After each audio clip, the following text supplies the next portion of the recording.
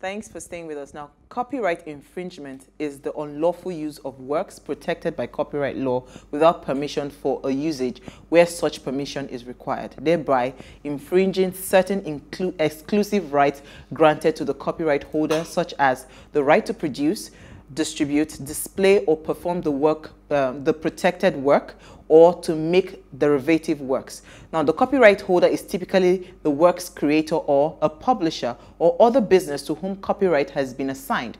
Oftentimes, we see creatives going on social media accusing producers of stealing their creative idea, or in today's case in point, for instance, Ms. Tobore, an investigative journalist who called out Mo Abudu on a movie she produced that was centered around sex trafficking, her true life story. Now, this is not new when it comes to um, intellectual property. So today we are talking to creatives and we are asking, how well informed are you about protecting your intellectual property. Now, please let us hear what you have to say. Remember, you can join this conversation. Tweet at us at Wayshow Africa 1 with the hashtag Wayshow or send us an SMS or WhatsApp to 081 803 So I'm going to bring in our guest like in two minutes. But I wanted to hear AK, I'll come to you first, then I'll come to EC how well do you even understand anything about copyright, right? Because this battle, every now and then, you see it back and forth. Maybe a, a, a, music artist that goes to sign under a label, the next thing they fall out. Why? Oh, there was issues and all of that. But AK, let me come to you. You know, do you know anything about copyright, you know, and protecting your intellectual property? How well do you know about that? Well, I would say um, that I, I know a little bit about it, and let me explain also because I I oversee a lot of small businesses. Yes. And it's the same thing as getting a patent. Um, so maybe there's a difference between the patent and the copyright. I'll let the I'll let the uh, professional tell us. But there's always a talk about owning the rights to whatever it is that you produce, whether it's the product, by doing it the right way. Now, apart from even knowing it that way, or the little bit I know, this has been in the media too often for people to sleep on it. Okay, so you hear someone complaining and saying, someone stole my idea, someone stole my song. The thing is, how do you prevent that? You don't have to experience it before you learn. You can learn from other people's experience. And so we, we hear a lot about copyrights, what is mine, what is not mine, what should be mine. And I have a lot of questions today for, for again, because a lot of people claim rights. And you know, Uwa, the first person that runs to the media yeah, so always looks like it's correct. Mm-hmm, mm-hmm. You get because I find out in the past that some people did not even know their rights well enough to accuse. Mm. So the thing really is, are you well informed? For example, one of the questions I want to ask is that, you know, if I'm working for somebody, which is this case, does it mean that, okay, I'm working for my employer today. Do I own the rights to everything that I have done in that employer's premise? That's a very good question we're going to ask. Name. Yeah. oh, we're gonna we're gonna bring in our guest. So let me just bring him in. So Mena Ajakpovi is a partner at UUBO. Uh, that's um, Udo Udoma and Belo-Osagie partner. Intellectual property litigation, ab uh, arbitration, and alt alternative dispute resolution and telecommunications, media and technology department. Now he advises on copyright patents, trademarks, domain name, broadcasting, music, movie, comedy, production, distribution, branding, image rights, franchising, licensing, amongst others. So hmm. he's the perfect person to have this conversation. Now he has represented some of the world's biggest names and owners of IP in this disputes and um, re relative um, issues in, in this area. So thank you so much for joining us, Barrister Mena. So you. you. you were just in a hurry to jump into AK's question. So maybe we'll start from there. So yes, I wanted. Yeah, go yeah, ahead. Go. No, no, no, no. Shoot. You so in the case where someone, so let us let us probably bring it down first from the case in point tonight before we now give the broader advice to creatives because the goal for tonight's show is let creatives listen because I know that the law is not emotional. The law only follows what has been signed and documented. That is only when you can win some of these things. So in the case in point, right, you're under an employee, like um, um, uh, what um, AK had said. You know, do you even have the right to say whatever it is that I produce under that employee, I can own that copyright? Is it possible? Okay, so the law is very clear. Intellectual property is a creation of the mind. Now, mm. people use the word copyright, patent, and any other thing related to it. Now, the mind is very creative, and the law says that the creation that comes from the mind, expressed in a particular way, is protectable. That's the law. Now, the law also goes on to define in what situation that kind of creation can be protected and against who and for what purpose. So it's not everything that comes from the mind that is protectable. For instance, ideas are not protectable. So if you like, you have an idea. I had this idea. Where is the idea? The law cannot protect idea. So now you made um, a, a statement that if you're working for somebody who owns the copyright or who owns the, the intellectual property to the things that come out from that situation, the law also defines it so that if you're an employee and, you're an, and there's an employer, the law says that the work that you produce, the output that comes out of it, first of all, belongs to you. Hmm. You are the author. It belongs to you. However, that right that belongs to you can be taken away from you easily in your letter of employment. Hmm. So if your letter of employment does not specifically says that the output will be will belong to the employer, hmm. then you the author of those work owns those copyrights. Hmm. That's what the law says. So people I've heard people just saying, I'm an master an employer, I'm an employee, is my employer. Therefore, anything that is created belongs to my employer. What if your letter of employment does is silent about it? Hmm. If your letter of employment is silent about it, then those work belong to you. That's what the law says. You know, legal okay, matters is very... Yeah, go ahead, AK. Stretch my question. So let's even use the case in point. Um, I'm the employer and I pay you for um, doing a particular kind of job. And because really, I think what we're talking about in this case is investigative journalism that is sponsored by an employer. Now, who really owns that? Because you're supposed to go and do the job. So I'm not talking about I'm creating a new product out of the air. What about if creating a product is what I am paid to do? So if I am paid to create a fantastic product, that is what I am employed to do. If I create that product out from my idea, does it mean that the product belongs to me, seeing that the product and the research is being paid for by the employer? Absolutely. I just need that clarification. you see, you see, it's a beautiful, uh, it's a beautiful concept. It covers everything. The law also talked about the situation you just mentioned. Hmm. And it says for publication for in a publishing house, mm-hmm. it is usually the publisher, the employer, that owns it, because that is the whole idea of bringing you in the first place. There's a full provision of the Copyright Act, which I would, I mean, subject to how the discussion flows, that I will have to read. So, for publication, for journalists, for those people like that, the work belongs to the publisher, except you now use it for something else. Hmm because that is the reason why you are engaged in the first place. But generally, see, the author owns the work. That's the first mention, first ownership belongs to the author. Then you cannot develop from there. And let me just add, copyright is not registrable. Attaches to you by law. So when you create it, as you're creating it, the law is giving you the power to protect it so that nobody's, nobody copies it, nobody distributes it, nobody uploads it somewhere, nobody does anything that you are entitled to do. That's copyright. Okay. Huh. Thank so, you. Barrister Mena, hi. So well, let's take a look at um, sales and royalties, okay? Um, what is the role of sales and royalties as it affects um, intellectual property? Okay, so well, it depends on the endeavor that you're talking about. So, for instance, music, what we live by is the royalty, your royalty and the sales and everything that comes about it. The exploitation, royalty is an outcome from the exploitation of your work. So you, you expect that when you do, you put your work out there, after a certain time from the exploitation, either a songwriter, somebody uses that song to make something else, you expect royalties from it. So it's a legitimate expectation from the exploitation of your intellectual property. That's simple.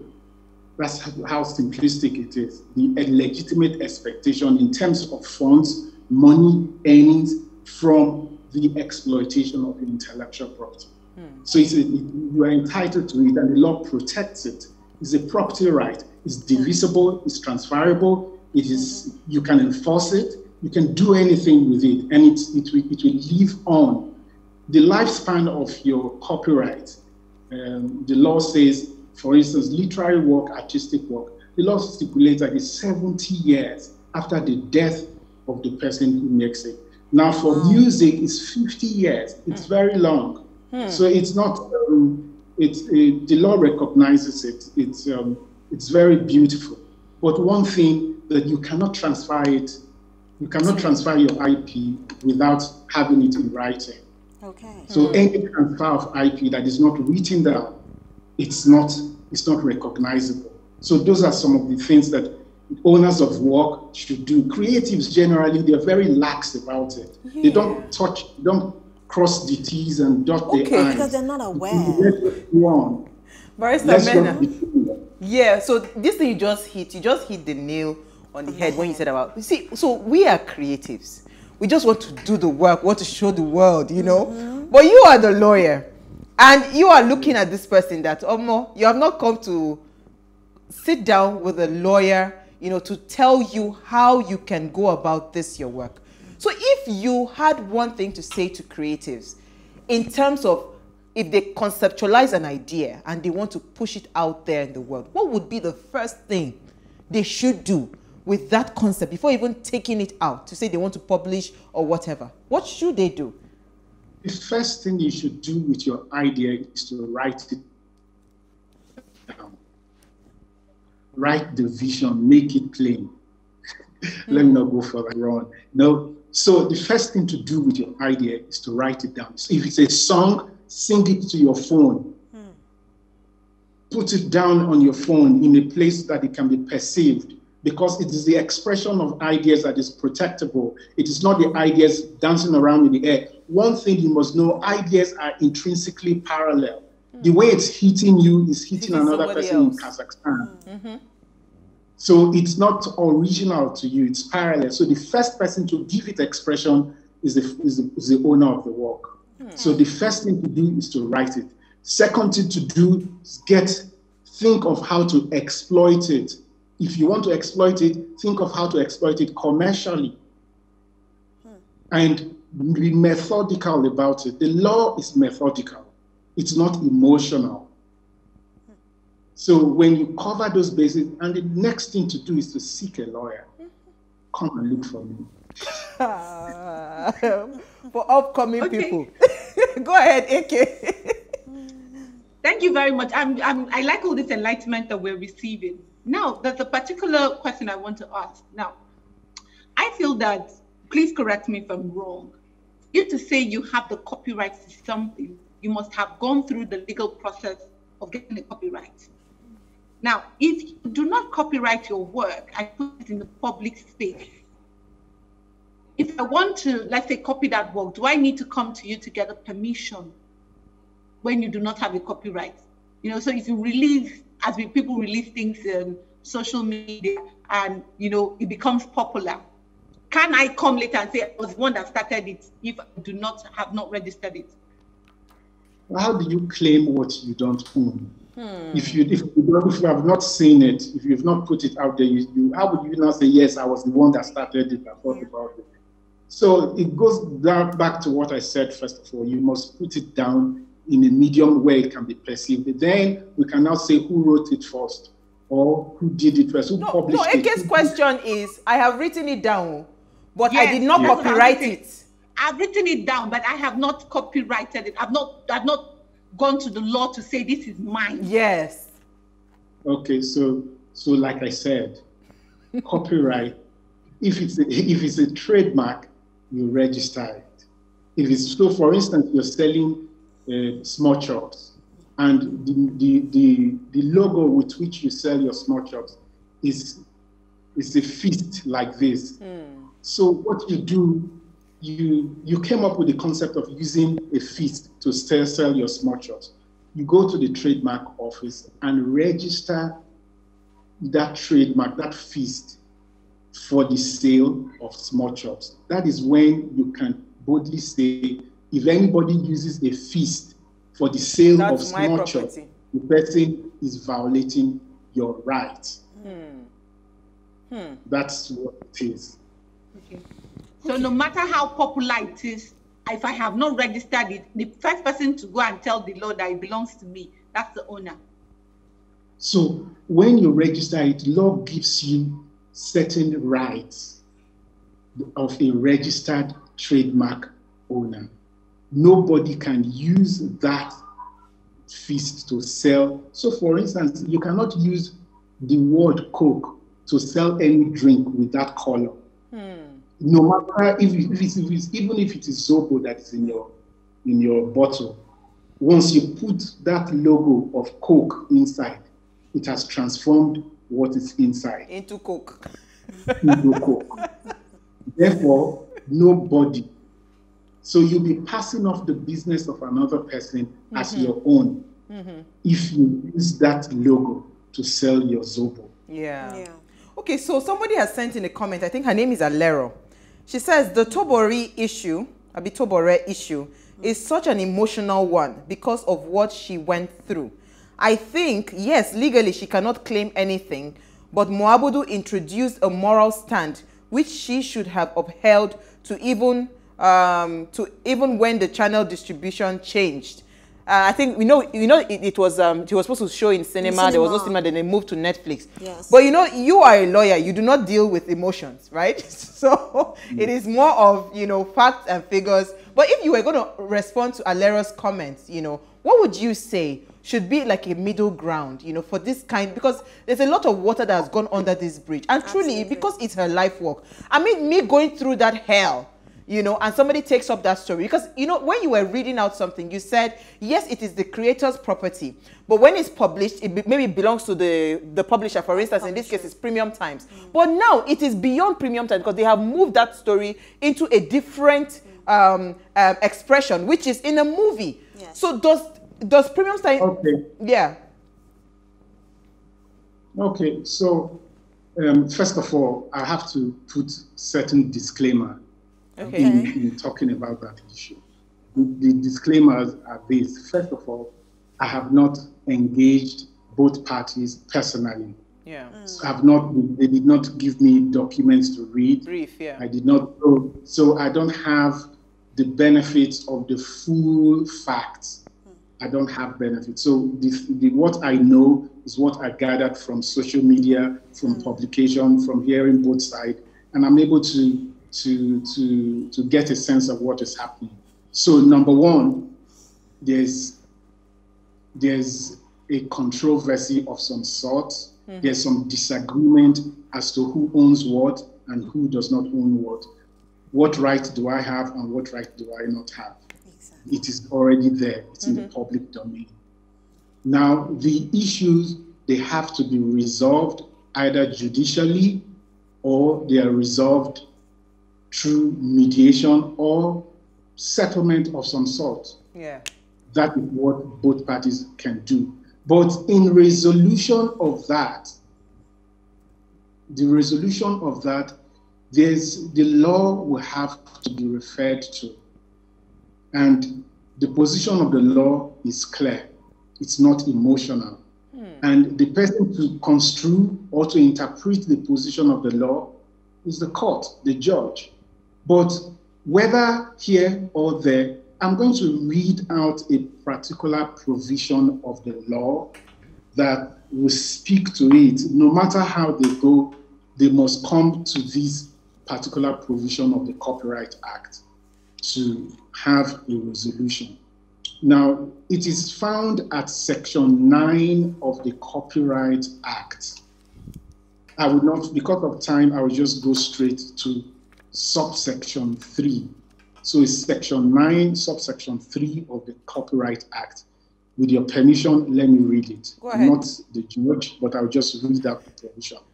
Where a literary, artistic, or musical work is made by the author in the course of his employment by the proprietor of a newspaper, magazine, or a similar periodical under a contract of service or apprenticeship, as is so made for the purpose of publication in a newspaper, magazine, or similar periodical.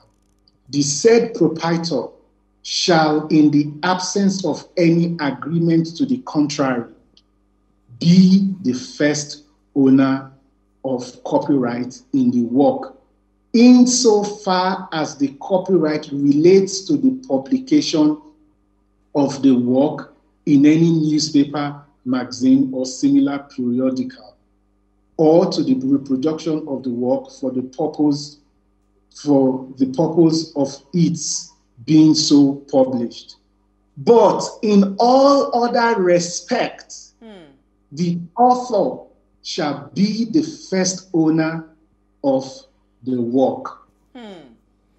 In all other So- respects. In all other respects. on that if note- you are not using it for publication, Yes. in all other, other respects, respect. the first owner of the work shall be the author. author. So, so that is the that is the law. I can't speak. Okay, to you know what? We would we will continue, we'll expand, shake more on that, but we want to just take a very short break. We'll be right back.